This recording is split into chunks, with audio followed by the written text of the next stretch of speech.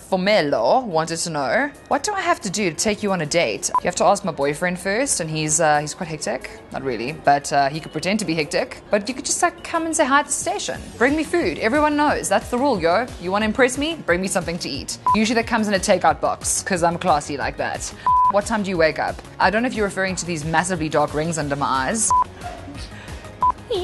I don't know, like 5.30? You know what it is? When uh, KTV started, I was uh, like very, very young, and my dad taught me how to put the TV on so I wouldn't wake my parents up. So I've literally just been sitting waiting for KTV to start my entire life. and when you say it like that, it's very sad, shame. You sound like a romantic lady, so I would like to know what is the craziest thing you ever did for love? I'm just myself, man. And they come to me, they gravitate towards me like moths to a flame, like sands through the hourglass. So are the days of your lives, or whatever. You know, I'm a princess and people have to treat me. But again, it's usually just been dinner and Patron on ice.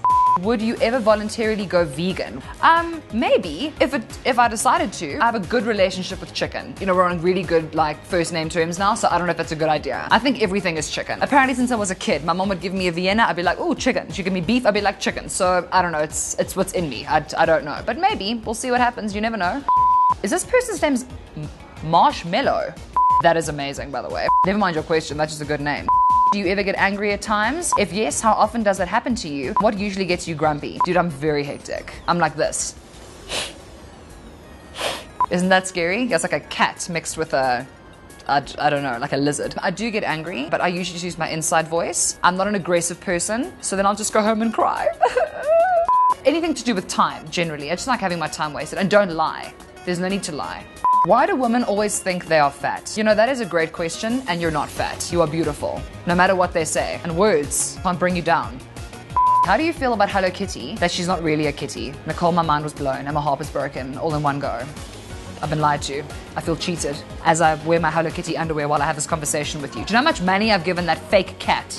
That ain't right. See, don't lie. You see, now that makes me angry. Now I'm getting angry. So I'm gonna have to go home and cry now. It's all very sad. Do you ever grow hair in unusual places? Smiley face. Um, if you're referring to on my face, then no. Otherwise, that's none of your business. What's the matter with you? You don't know me. Come in, come in here asking me all these sensitive questions. Anyway, this has been Ask Stacey. There goes Alex Cage. Hey, girl. How? Hey. Really, if there's anything you want to know, whether it's important or like slightly lame, I'll answer it for you. Bye. Cecilia Pony, Pony and Cecilia. That sounds very bad.